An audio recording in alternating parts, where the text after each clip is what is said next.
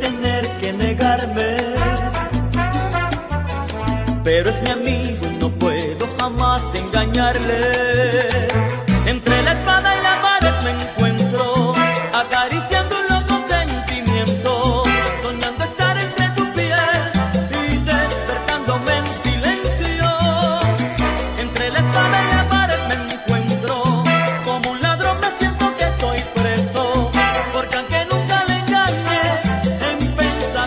que até a